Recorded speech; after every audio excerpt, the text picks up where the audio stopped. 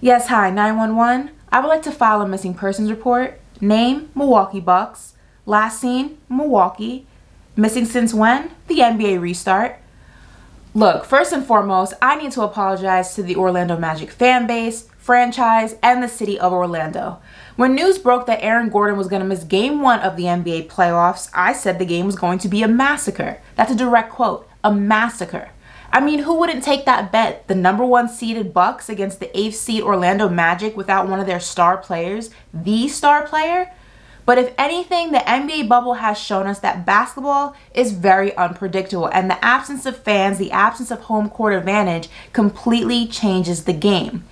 But I think this speaks more to who the Bucks are now currently than who they were in the past. Breaking down Tuesday afternoon's game against the Magic, they were defeated 122 to 110. No big deal. Teams have off days, right? Again, this speaks more to who the Bucks are currently than who they were at the start of the NBA season. Now let's just look at the facts, the facts of the playoffs and the facts of a 1 seed versus an 8 seed. 1 seeds rarely lose to 8 seeds. In fact, it's happened only 5 times out of a possible 72 since the NBA's current format constructed in 84. No big deal, I guess. Things happen, right? But now the Bucks face the task of winning 4 out of 6, which is something they haven't been able to do since March. On March 1st, the Bucks were 52 and 8, halfway through a set of back-to-back -back games that wrapped in Miami. Since then, starting with a 16 point loss to the Heat, they have gone 4 and 10. That includes a 3 and 5 record in the bubble seeding games, plus Tuesday's incredible loss to the Magic. And speaking of that Orlando Magic game, let's break that down because Milwaukee fell behind 10 points in the first quarter, 18 in the second. Their biggest lead was just 8 to 2, and not to mention that they trailed for nearly the last 40 minutes of the game. In short, the Magic did to the Bucks what the Bucks were supposed to do to the Magic, and they did so without Aaron Gordon. Would I be worried if I was a Bucks fan? Absolutely. Now, did the Bucks underestimate Orlando? They say they didn't. I think they did. But you know what? That's what happens when you're a number one seed.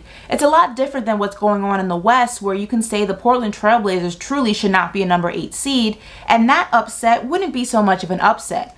But the Orlando Magic against the Bucks, on paper, it's no competition. In reality, it seems to be a lot harder for the Bucks than it should be. Now, game two between these two teams is expected to kick off at 6 p.m. on ESPN, and the news is out. Aaron Gordon will miss this game as well.